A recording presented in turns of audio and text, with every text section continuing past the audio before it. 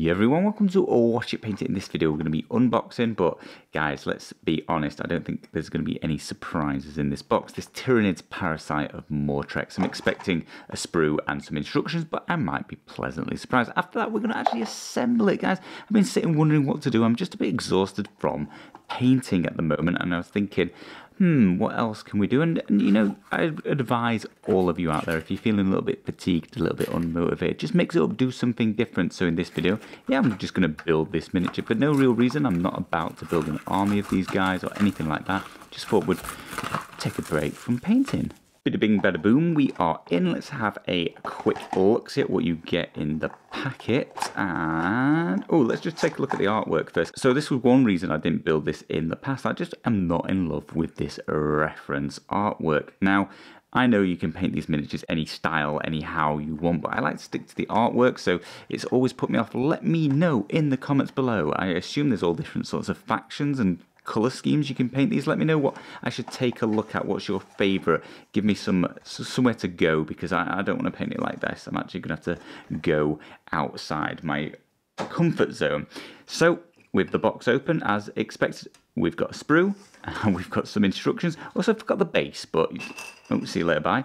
But does that does that count as anything? That's what you get in the box. Should we have a look at building this up on camera? So to build it up, we're going to need the sprue, the instructions, and we're going to use a few tools. We're going to have a pair of nippers for cutting it off of the sprue. We're going to use a blade for trimming down any mold lines, smoothing it out, sort of filing away any bits we don't like. And then I'm going to use some plastic glue. So I've got the Citadel nippers. I'm a fan of these. I think they work particularly well. I've got my Morton, Swan Morton, Sheffield, England um, scalpel and that works incredibly well. And then I'm uh, I'm enjoying the plastic glue as it was recommended in the past. Much much much better than super glue so I would treat yourselves to that. But I'm thinking this Tamiya liquid cement I think it is is what everybody keeps recommending me in the comments. So let me know if you think that is better and I'm gonna pick up some soon. So we'll start with in instruction numero one and we want to find piece one two three uh, four five and six basically all of it. So we're going to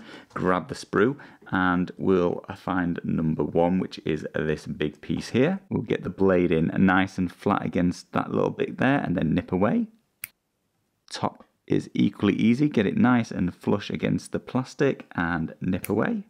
And then we've got another one around here. Again, I'm getting the blade in nice and flush and then snipping away. Then we've got this final fourth piece on the spiny bit of his tail and once again nice and flush and then I'm nipping that away. That piece is then released. Two and three are right next to each other, this one and this one and we'll nip those away.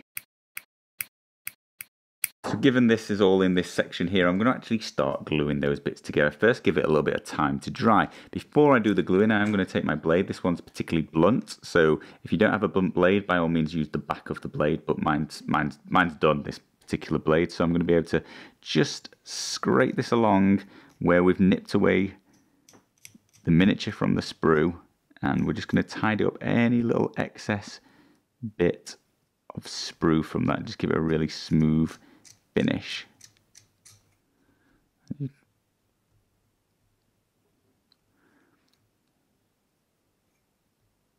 Around on this side too, there's a little bit left sprue. We'll just skim that off and then slide the blade along, smoothing that out. This one's a good one to note here because that was very hard to get flush to it, so it's left quite a little chunk of sprue.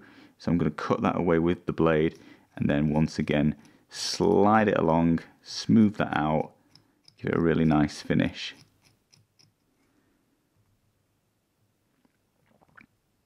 Then give a quick exam just to make sure you've not missed any bits on any of the sides. I don't think I have, so that, that that's that piece taken care of.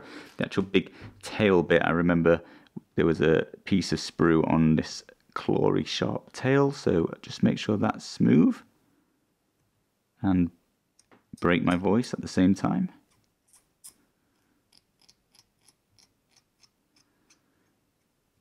And there was a bit on the the underside of this as well, which just needs taking care of.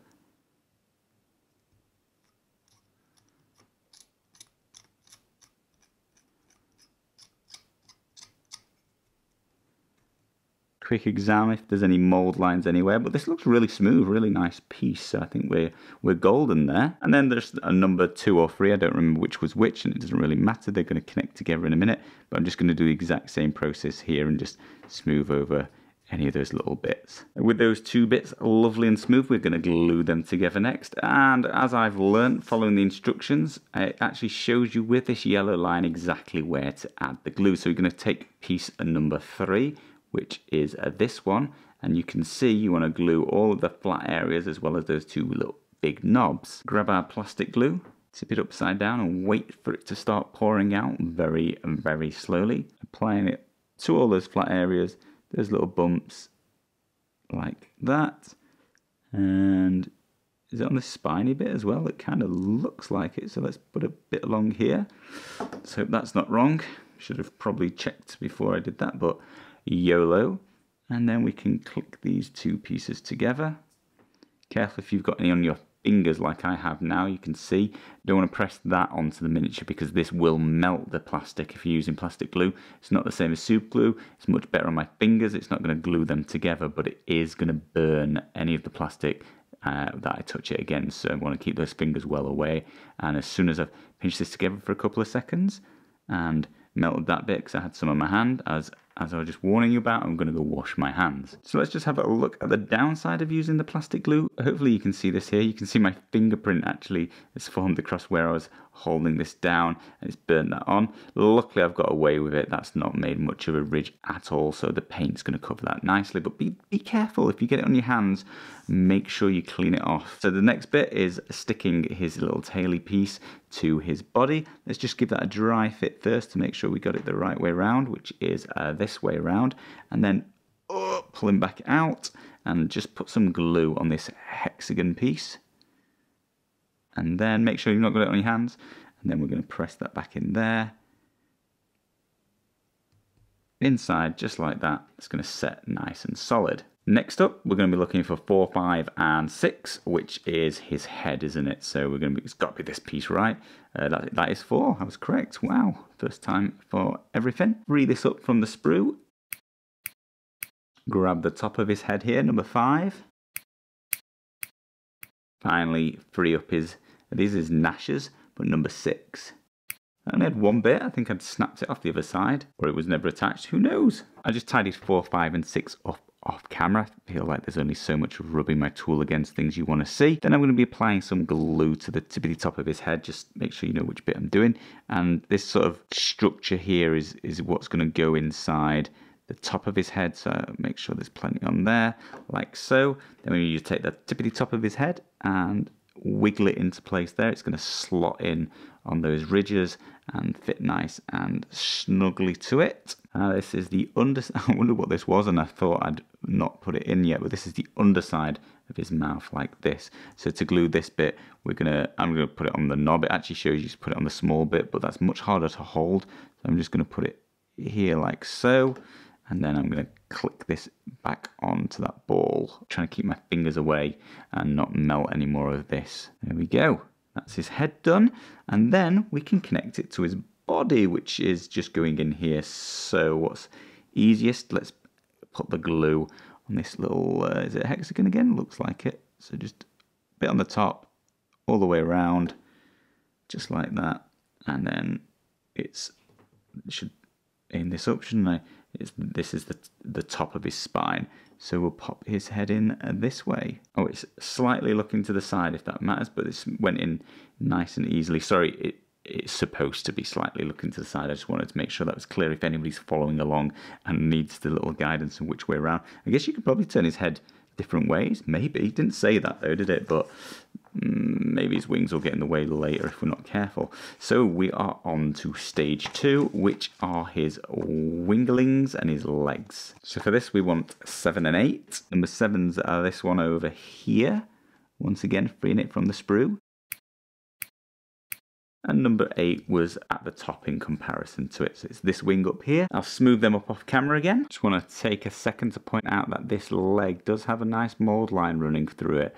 So as well as cleaning up any of the bits, sprue bits that are left attached, you can use the blade as well just to remove those mold lines poking out just making the miniature look a little bit less smooth. So let's stick on his wing. It shows you to glue along his body. I actually think it'll be easier in this case to get the right places by gluing along his wing. And that's just a matter of sticking this big bit here in this hole here and going along his sort of carapace, is it?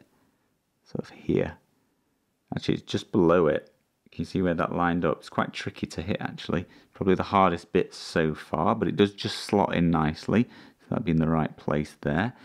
Ooh, is it making it harder to paint? You've got to consider that when you're building. That might now be slightly harder to paint. I don't think we're there yet, but you do consider sub-assembly. It might be a nice piece to paint off, um, off being attached to his wing. And then his leg needs to slot in and actually attach to his wing. I didn't realise that before. It might have been, I guess, easier to do before. I don't know. This won't. This will go in though. Give this a little dry fit though. Test this out before. Uh, we're going to get glue along his wing back there and in this hole. And then it's a matter of taking his leg. It's because you can see his wing continues on the back of his, this sort of fingery leg bit. And then that slots oh, in there. Actually, should we put some glue in there? We missed a bit. Let's pop, there's a little hole here. Let's get a little bit of glue in there. Like so. Let's wipe that off there quickly before it melts. Got a bit on his um, armour.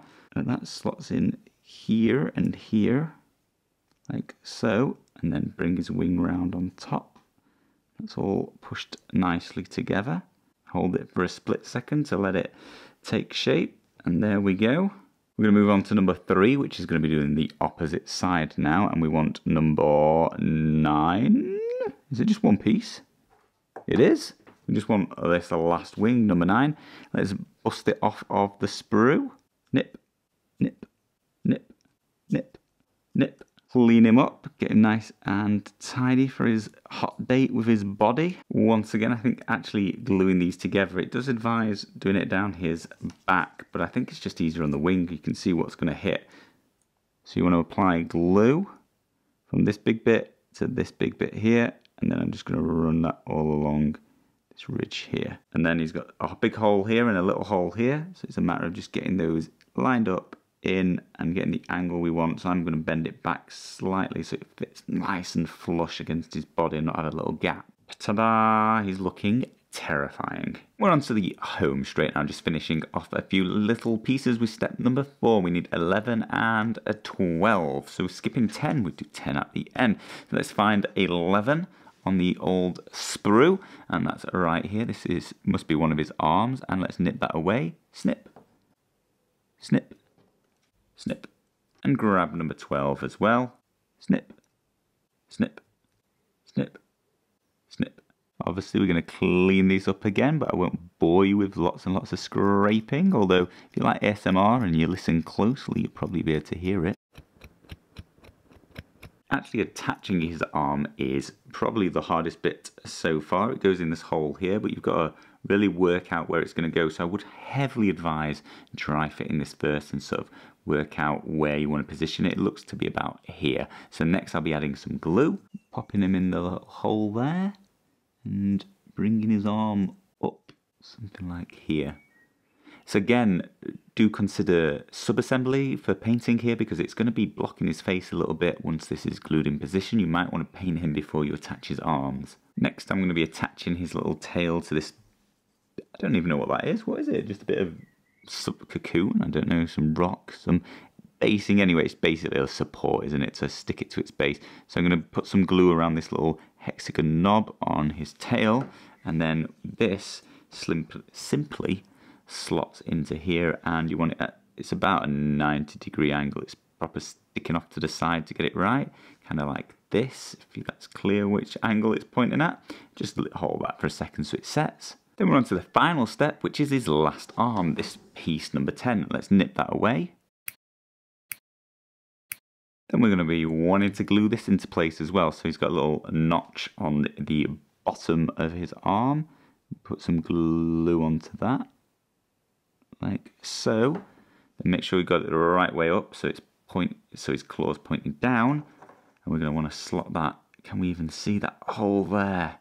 Really hard to get to now that just slots into there. Bring his arm up again to sort of mimic his other side. Again, would advise dry fitting this first. I just did that off camera to get a feel for roughly where it's going to sit. About out there looks okay. I don't think you can really go wrong with the arms if they're not perfectly where they're supposed to be, as long as it, they go into that hole very well and sort of hide the mechanism of connecting together, it's going to look pretty baller. So for the final bit, we're going to want to attach him to his um, base, and for that, it's just simply taking some more of this plastic glue, putting it all the way around this flat bit of, I won't call it his base, but the bit that attaches to the base. So just give it a nice spin around there, take that, and then work out where you want to sit him on this base. I'm going to put him slightly off center because he is slightly off center. And with that, we are completely finished. Guys, that was a very, very straightforward and easy and enjoyable assembly job. Just a bit of nipping, a bit of scraping, and a little bit of gluing. Got a bit of glue on my hands. Mistakes were made. Do take some care with that plastic glue because as you saw in the video, it can melt the plastic in places you don't want it to if you get it on your fingers. Other than that, let me know in the comments below. You know, obviously I've had a little bit of a break from painting this with a bit of respite, so let me know what you guys do if you're feeling a little bit painting fatigued and how you re-energize yourself getting back into the spirit of things. Equally as i mentioned at the beginning i really dislike that reference art on the box. I'm just not sure i can paint this one white. I just never like how white looks and it's incredibly difficult to paint. So let me know in the comments below how you would advise painting these up. I'm not quite sure what color schemes work particularly well with these nids so point me in the right directions. Anyway guys thank you ever so much for watching and I'll see you again soon.